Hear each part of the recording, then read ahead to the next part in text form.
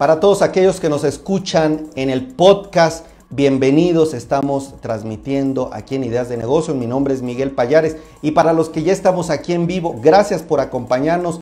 Hoy les quiero presentar a Jesús Sánchez. Él es fundador y director general de la empresa Conejo en la Luna. Él es empresario y promotor de la cultura del mezcal y lo recibo con muchísimo gusto. ¿Cómo estamos, estimado Jesús? Y bueno, la primera pregunta, estimado Jesús, platícame de dónde viene Jesús Sánchez, quién es esta empresa que tú diriges, Conejo en la Luna, y tu vínculo con el mezcal. Por favor, platícanos en un minutito de qué se trata esta empresa y tu experiencia. Claro, mira Miguel, eh, nosotros somos una familia que hace, bueno, mi gusto por el mezcal comenzó ya hace bastante tiempo como un consumidor más, de los que ahora hay afortunadamente muchos. Eh, sin embargo, de cuatro años para acá inicié un, proyecto familiar junto con mis hermanos en el que eh, nos interesaba promover la cultura del mezcal. Eh, poco a poco nos fuimos metiendo un poquito más al tema y nos dimos cuenta que eh, había cosas que de las que faltaba dárselas a conocer al consumidor y fue ahí donde surgió el proyecto de Conejo en la Luna. Nosotros, básicamente, lo que nosotros es promover la escultura del mezcal tradicional, es decir, el mezcal como lo consumen o como se ha consumido durante, eh, durante generaciones en las comunidades de donde es, es su origen. Es decir, que el mezcal está arraigado a la cultura de los, de los pueblos. Digo, por ejemplo, el, que nos viene a la, a la, cabeza de entrada es este Oaxaca, los pueblos oaxaqueños, muchos eh, tienen inmersos entre sus fiestas o sus este, celebraciones eh, el tema del mezcal. Sin embargo, eh, la, la creciente demanda de esta bebida ha llevado a que no sean ellos precisamente los promotores del mezcal, sino que sean los propios comercializadores los que eh, han tomado esta ventaja o este boom. Y nosotros lo que hicimos fue darle cara a esos productores. ¿Cómo lo hacemos? Nosotros tenemos una selección de diferentes regiones del país donde hicimos la búsqueda de los diferentes destilados y de los diferentes productores y les hicimos un costeo para poder determinar el valor de su producto.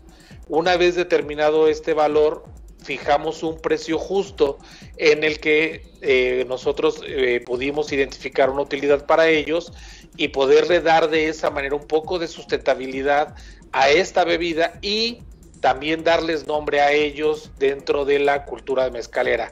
Porque cuando hablamos de mezcal hablamos de marcas, pero en realidad deberíamos hablar de los productores o de las regiones productoras de mezcal de diferentes estados del país. Perfecto. Ahora, en datos, en cifras, estimado Jesús, platícame un poco desde la fecha de inicio, empleados, no sé, tal vez cifras de ventas o el crecimiento que ha tenido la compañía en los últimos años, por favor. También, ¿qué objetivos tienes en términos de dinero? Y posteriormente pasamos al tema del restaurante, que también sé que tienes por ahí. Platícame, por favor, esta numeralia, por favor. Sí, mira, eh, somos una empresa todavía pequeña, eh, estamos eh, conformada alrededor de unos 20 empleados, eh, entre ellos de, forma directa. Si sumamos obviamente a los productores mezcaleros, pues bueno, ya sería, sería un, grupo como de 50 personas, pero hoy básicamente de forma directa somos como 20 personas. Como te lo comenté al principio, empezamos hace, hace cuatro años, tuvimos un 2020 donde por cuestiones de de que todos conocemos del COVID, prácticamente detuvimos nuestras operaciones y eh, gracias, bueno, no gracias, a la situación económica de la industria restaurantera me detuvo a mí en la idea de poder eh, empezar a promovernos a nivel de detalle eh, con ellos, por lo que volteé hacia comercio electrónico, que es donde básicamente desde el año pasado enfocamos prácticamente todo nuestro esfuerzo pudimos entrar con Amazon, pudimos entrar ya con Liverpool en e-commerce, tenemos nuestra propia tienda en línea y eh, a partir de diciembre de este año abrimos un nuevo punto de venta, que eso es, son, todos son directos nuestros, no son franquicias todavía. Eh, tenemos una, una en Teotihuacán, donde tenemos la exhibición completa de los 24 mezcales que tenemos. en Condesa acabamos de abrir y esperemos este, este año 2022 podamos abrir uno o dos puntos más para poder ir creciendo la, la distribución de nuestro producto. Eh, el crecimiento ha sido realmente en el 2021 fue donde más lo notamos porque pudimos trabajar más de una forma más este, estable a pesar de 2017, eh, 2018 en realidad fueron años todavía de, ir eh, afilando detalles, terminar de, de, afianzar la marca. Es todo un reto, es la verdad que suena muy fácil, pero eh, conforme te vas metiendo a lo que es la industria del alcohol, yo vengo de otra industria, pues te das cuenta que, que tiene, tiene también su chiste y evidentemente para poder perdurar aquí hay que hacer bien las cosas desde el principio con buenos cimientos, ¿no? Perfecto. ¿Qué oportunidad hay? Creo que todos estamos viendo una tendencia a nivel de negocios, de ventas, de exportación, incluso en temas del mezcal o que favorecen al mezcal. Yo te preguntaría, ¿qué se está viendo en la industria, estas tasas de crecimiento, en qué nivel están, en qué zonas del país se está demandando más, en qué países eh, en qué eh, estados, por ejemplo, qué tipo de mezcal o qué tipo de eh, presentación son las más vendidas. Si nos puedes hablar eso en una primera parte, la tendencia y la oportunidad. Y por otra parte, cuéntame de este restaurante, qué podemos ver allá en Teotihuacán, qué ofrecen de valor agregado. Mira, eh, hablando del tema de ventas, eh, nosotros la principal la, principal botella que o la, principal presentación que tenemos es en 750 mililitros. Nosotros nuestro principal mercado es la Ciudad de México. Eh, a, través de comercio electrónico y por ahí nos ha dado una sorpresa que no la esperábamos, pero Michoacán, siendo un productor de mezcal, para nosotros es un estado que nos ha consumido bastante bien. Nuevo León es otro. Y eh, es donde nosotros hemos notado el, mayor crecimiento. Definitivamente lo que tú decías, la oportunidad de negocio, sí, yo creo que hay, es una, es una oportunidad para, para todos. Eh, el poder entrar a esta industria. Eh, el, consumidor se va volviendo cada vez más experto, le tiene menos miedo, había un, prejuicio hacia esta bebida, creo que eso ya se ha superado bastante. Eh, nosotros, por lo que, bueno, lo que yo siempre expreso es que todo el mezcal que se produce actualmente en realidad no alcanza para, para, para venderlo en, tanto en México como en el resto del mundo. Por ahí también la, oportunidad hacia el extranjero, los países nos voltean a ver con buenos ojos. Eh, nosotros desde nuestra trinchera con mezcales tradicionales tratamos que el cliente o nuestro futuro cliente entienda antes de comprarnos una botella el concepto de lo que nosotros tratamos de transmitirles, es decir, un mezcal hecho tal cual como lo ha consumido una comunidad durante muchos años o de muchas generaciones y que podrá gustarte o no, pero esa es la idea de preservar la parte cultural de lo que hoy nos da un poco de identidad también como mexicanos. Ahora, a lo que preguntaba respecto al tema del restaurante, eh, fue un proyecto que en el mismo, ¿cómo se llama? Al mismo tiempo que de todo lo que fue el concepto Conejo en la Luna, o sea, fue la creación de una mezcalería junto con la marca de mezcal, junto con la selección de productores de diferentes regiones del país. Eh, tenemos mezcales que nosotros no los distinguimos por los magueyes o por los agaves, nuestra diferencia, nuestros distintos eh, mezcales. Primero, para nosotros lo más importante es la región, la región de donde proviene y segundo, el proceso como se elaboró.